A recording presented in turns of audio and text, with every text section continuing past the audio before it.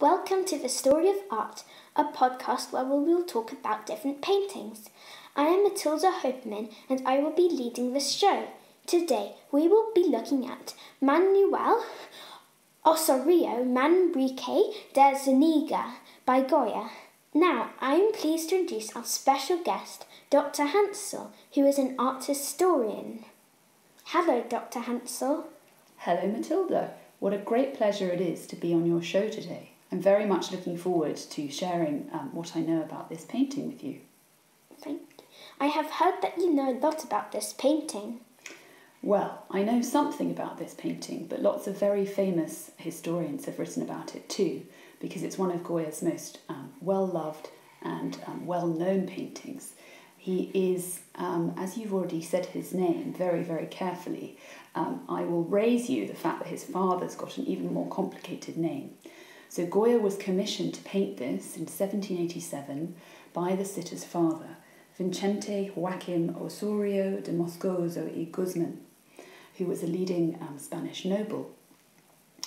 And Goya painted it um, with oil on canvas, which means that the colours that he chose, the pigments, were crushed up and mixed with oil to create paints, which um, is not quite how we think of paints in little tubes today. Obviously, they didn't have that. And then he painted it on linen stretched over a wooden frame to create his canvas. So that's um, so far the beginning of what I know about this painting. That's very interesting. Do you know why it was painted?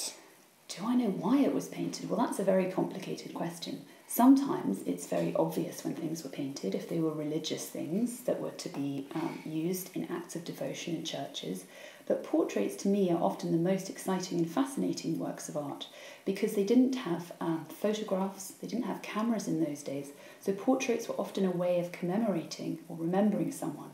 So I think that um, Vicente commissioned this painting of one of his children um, as a way of remembering him, which is particularly interesting because very sadly, um, the little boy died. He's about three or four in this painting, but he died when he was about eight. I didn't know that. I'm really curious to find more about Goya's life. Can you tell us a bit more about Goya's life, please? I can certainly try. He lived quite a long life. Um, and his father was a gilder, so his father was in charge of putting gold on paintings. Um, and he tried, Goya tried a couple of times to get into art school but was not successful. Eventually he was, and he um, became a painter at the royal court, and he was involved in the quite turbulent politics of the time between France and Spain.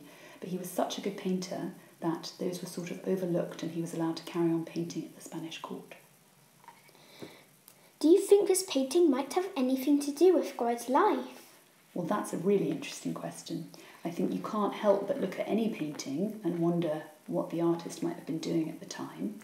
Um, I think with this painting, though, I think that um, Goya Goya lived such a long time and he had quite a difficult time in his life. Towards the end of his life, he became very depressed and very paranoid and his style changes quite a lot. But at this point in his life, I think what would be interesting is for us to think about what the little animals mean, um, because the animals in the painting are particularly important. So you've got a little boy in red, um, and he's holding what appears to be um, his pet magpie. And you've got three cats in the background who've got very, very wide eyes, and they appear to be sort of looking at the magpie. And I imagine if you know about cats, they're probably thinking about trying to sort of capture the magpie. Um, the magpie also holds a little card in his beak with Goya's signature on it.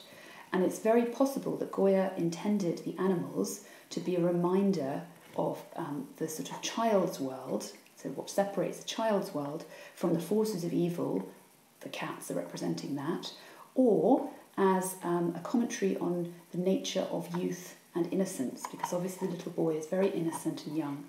Um, and so there's a possibility that actually the finches in the cage um, and the cats sort of wanting to capture those birds is something to do with that idea. Wow, well, I've certainly learned a lot today. Thank you, Dr. Hansel. That was really interesting. Now, to finish off, I will read a story based on the painting that I have written. Thank you so much, Matilda, for having me as a guest on your show. I've really, really enjoyed discussing this with you. I'm very excited to hear your story. The boy shuffled closer as three cats watched intently at his red slippered feet.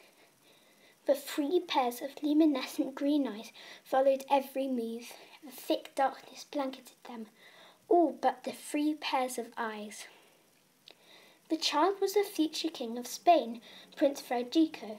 He was only three years old, and he hobbled a bit uneasily on his plump legs.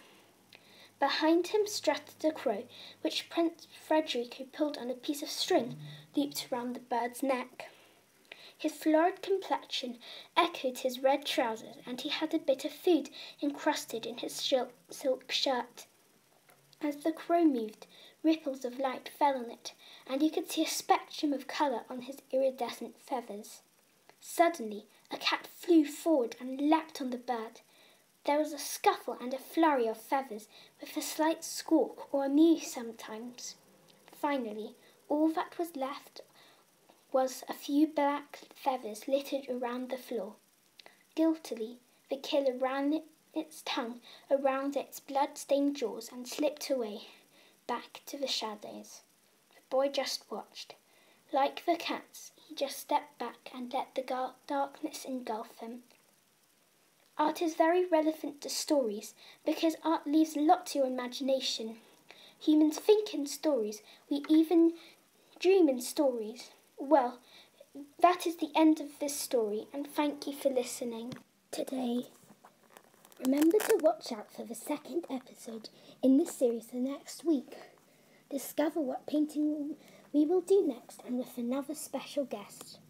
Thank you and goodbye. Thank you.